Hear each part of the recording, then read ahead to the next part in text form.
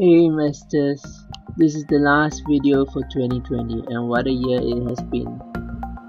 Well, I have mixed feelings about 2020. Of course, we had the pandemic, but in terms of the stock market, the returns have been very good this year. Some of the companies we picked just accelerated their growth due to the pandemic. And those companies will likely continue their growth in the coming years. Although I think my portfolio has done well, I think we can do better next year. I'm seeking inspiration from some of the top fund managers who did phenomenally well this year, like ARK Invest and like the Scottish Mortgage Trust. Let's take a look at our portfolio in depth and then we'll also compare our returns against returns of the best fund managers in the world and we'll draw a few conclusions.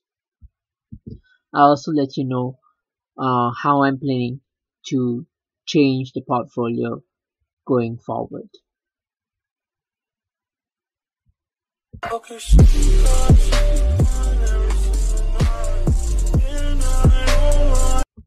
So this is how the portfolio stands at the moment.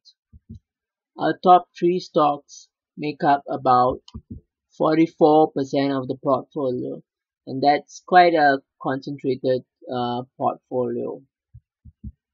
I'm looking to diversify away from my mega cap stocks a little.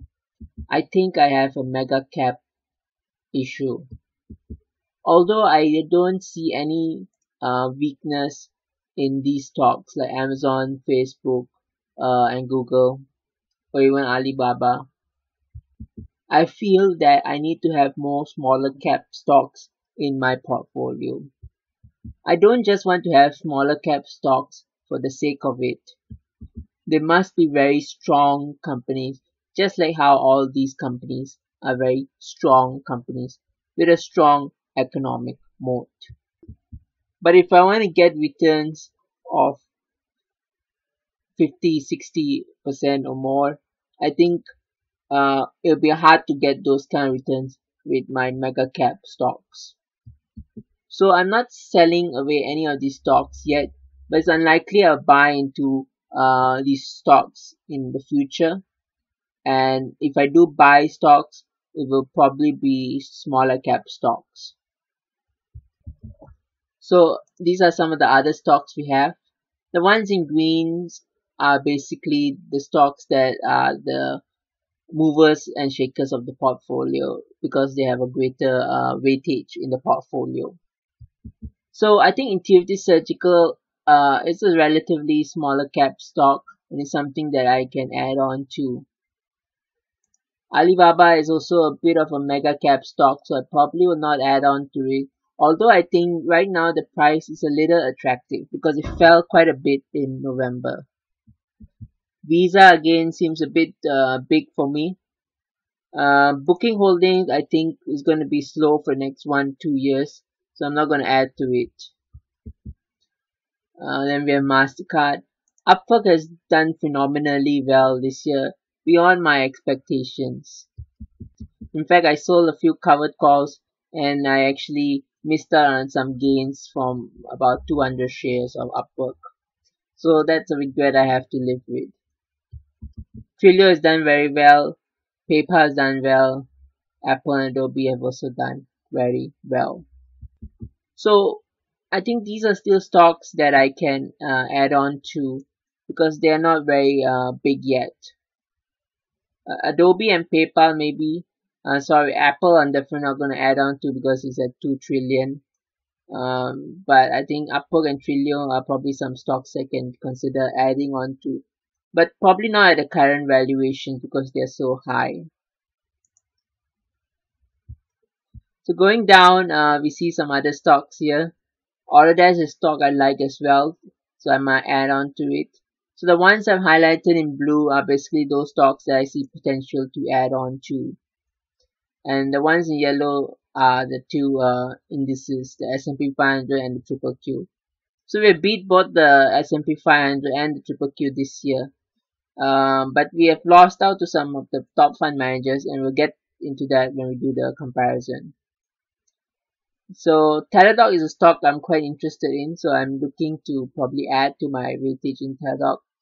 Baozun Beyond Meat uh, even the tech software ETF is something I could add on to. Illumina uh, DocuSign uh, also stocks I'm considering to add to NVIDIA, I, I like it. I think it's the kingpin of AI or it will be the kingpin of AI. But again, it seems a bit on the large cap to mega cap uh, size for my liking. And that is also the case with Netflix. American Well fell quite a bit in November, so I picked up some shares. And it's also some a stock that I'm keeping an eye on. And I finally Bitcoin. I've been watching a lot of videos of Ark Invest and Cathie Wood, and I like her theory on Bitcoin. So I'm opening up a starter position in Bitcoin. So it gets me more interested in it. I read up more about it, and uh, if it falls some more, I might even add a bit more to the portfolio. So in total, uh, what a comeback we had in uh, November. The portfolio has crossed the 300k mark. So we almost wanted there in that goal to reach $1 million. So 2019 we did well, but 2020, as I mentioned, has been a blowout year. We did nearly 50% in return. We made about 93,000 this year. So, I mean, if we just do 10% next year, we'll get another 30,000. So I'm quite excited about uh, next year. So if you have suggestions of uh, other small cap stocks that are not already in this portfolio or that I'm overlooking, uh, let me know. So in terms of activity for November, this is what we've been up to. Um, right at the end of October, I think we bought some uh, Teladoc shares here. So I was uh, trapped in this covered call for Upwork. So I had to uh, give up some of those covered calls. So that's why you see some activity around Upwork here and here and here as well. And I bought a few more Teladoc shares on 9th uh, November. So this is the activity involving Upwork. Uh yeah then I sold uh, the S&P 500 um, I probably won't be adding cash into this portfolio going forward so I'm going to sell some stocks uh, to raise cash to buy new positions. So the S&P 500 index is probably one of the positions that I'm going to sell. Uh, probably Berkshire Hathaway as well. I bought Amwell. Amwell fell quite a bit. Uh, I had a put option on Carnival, uh, so I closed that one. I bought some Baozun and I bought uh, Bitcoin. So these are the current uh, option contracts that we still have open. So I think most of them will close uh, in profit on 15 uh, Jan 2021 except this one for Carnival I'll probably take a loss of 1200 plus uh, or even more if Carnival falls more in that time and uh, probably sell the S&P 500 uh, position to raise cash to cover this. And then I've been opening up uh, new put options for the next year. So that experience or that bad experience with Upwork where I sold this cover call but Upwork just skyrocketed up upwards. And I lost a lot of I lost uh, I think potential profits of about 2000 plus perhaps so I'm becoming a bit more cautious about using covered calls in future in any case, the only other stocks I have 100 shares of, I think, are Facebook and Under Armour. Under Armour, I'll probably get rid of uh, through a covered call. Uh, Facebook, I probably will use it very sparingly, I think. So let's take a look at the monthly uh, comparison. So we are beating the S&P 500, which did 13% uh, we are beating most of the indices, the VGT, IGM, and uh, Triple Q that has ranged between 36 to 46 uh, percent. Sorry, uh, 40 plus percent. Um, the Baron Fifth Avenue Fund has done 46%. The Berkshire Focus Fund has done 81%. Uh, the Scottish Mortgage Investment Trust has done 89%. And then look at this.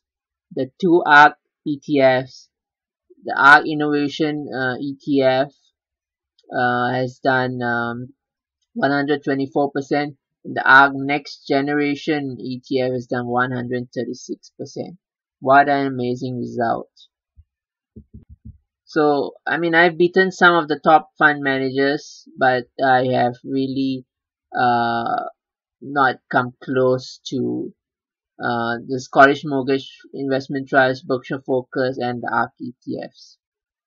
So, for the Scottish Mortgage Investment Trust and the ARK ETFs, there's been one clear stock that has driven their returns. That stock is uh, Tesla. Tesla is a stock that I missed out on. Um, I think in the past I was uh, scared Tesla would go bankrupt. I was a bit dismissive of Elon Musk. Um, I didn't really see a moat in terms of electric cars. Um, and I think I was also a bit dismissive of uh, Cathie Wood when I heard her first speak about her Tesla price target. I'm not saying that uh, Tesla deserves its uh, current valuation. I don't think it really deserves its current valuation either. But I think I'll be a bit more um, cautious now in uh, you know looking up some of these top fund managers and paying more attention to some of their picks and uh, analyzing it further uh, and not being too keen to uh, too quick to dismiss some of these ideas. So I think Tesla has uh, gone uh, above the kind of uh, valuation that I'm looking for. And in any case, it's become like a large cap, mega cap stock. And like I said before, I'm trying to avoid those stocks right now. So, but I hope to pick up the, the next Tesla, the next Shopify, uh, the next Amazon. So it'd be very interesting to see how the ARK ETFs do next year. Uh, they won't have, I don't think at least they will have the strong tailwind of a Tesla stock next year. So it'll be interesting to see how they do uh, next year. But whatever it is, I'm going to pay very atten- very close attention to the ARK ETFs. I'm become a fan of uh, Cathie Wood. I've watched a lot of interviews of her, and she is a very smart, analytical woman. So, uh, I mean, whether you agree with some of her picks or not, I think there's definitely a foundation to them. Uh, even Bitcoin was something that she has been uh, supporting, and there's actually quite a bit of logic to it. And that's actually one of the reasons why I decided to finally pick up a few Bitcoin uh, uh, shares so that I can get more skin in the game as well. So, I mean, let's look at how the ARK ETFs do next year. Um, let's see, and if they keep beating me, you know, trouncing me, then maybe I should just be investing more in the ARK ETFs. So I'm going to monitor that closely. What do you think about uh, all these uh, ETFs and funds? How is your portfolio done? What do you think of the uh, performance of Project 1 Million? Let me know your comments and thoughts in the comment uh, section below. Please help to support this channel. Uh, you can also join my fund on eToro if you're interested. Uh, feel free to ask any questions and I'll do my best to help you and myself in this long-term investing journey. I think it's important to learn from mistakes. So while 2020 has been a good year for me, it'll be good to learn from some of the mistakes and hopefully we'll do even better next year and in the coming years. Thank you for your time.